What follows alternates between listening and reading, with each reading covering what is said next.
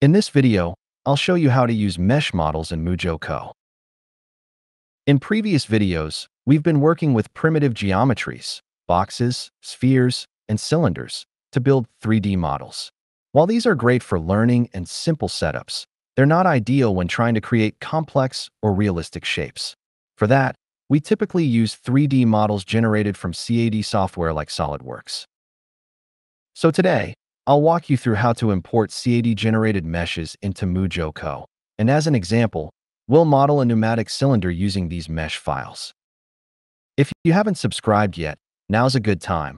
Click that like and subscribe button to support the channel and help me make more educational content like this. We'll begin by creating a folder named Meshes, and I'll copy my 3d.stl files into it. Then, I'll create a new XML file.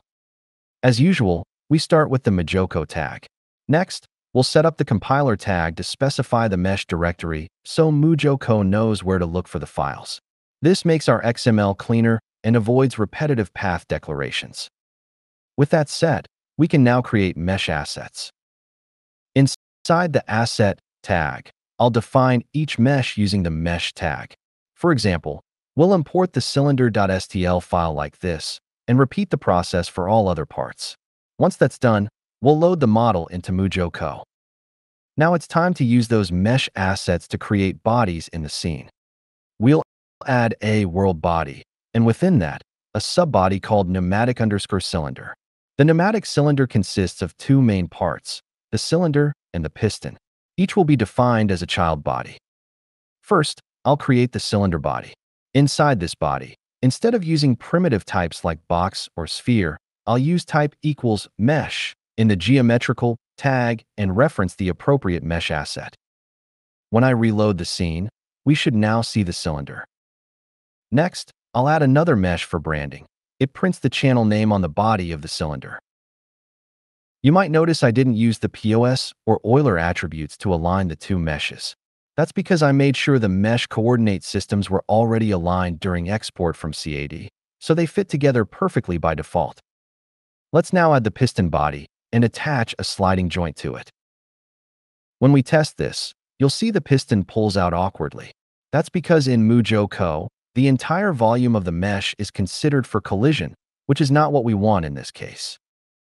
To fix this, we disable collision for the visual mesh by setting the appropriate collision parameters in the geometry tag.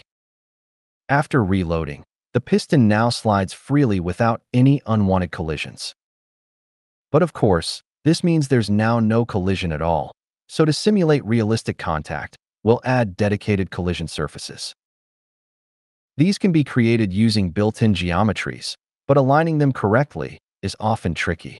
A better approach is to export separate collision meshes from your CAD software, containing just the necessary surfaces. I've already done that, so now I'll go ahead and add those collision meshes to the cylinder and piston bodies. You'll now see the correct collision zones, like at the front and back of the cylinder. Dragging the piston now shows that collisions behave correctly. Next, we'll set joint limits using the range parameter, let's say from 0 to 1 meter.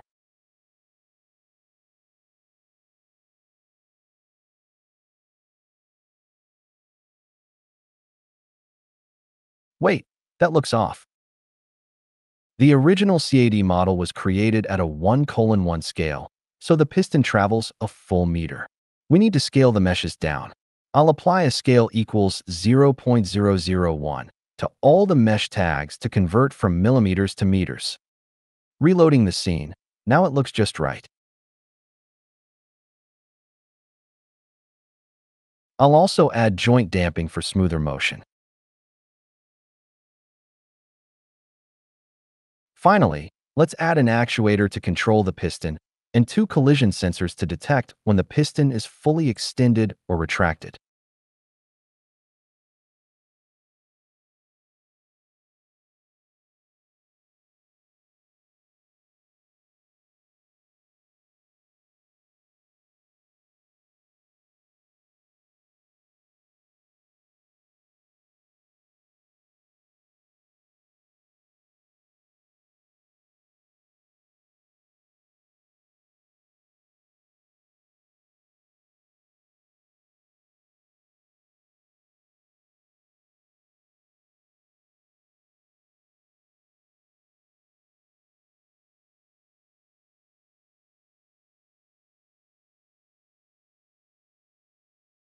And that's it.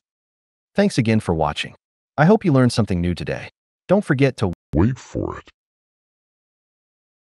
subscribe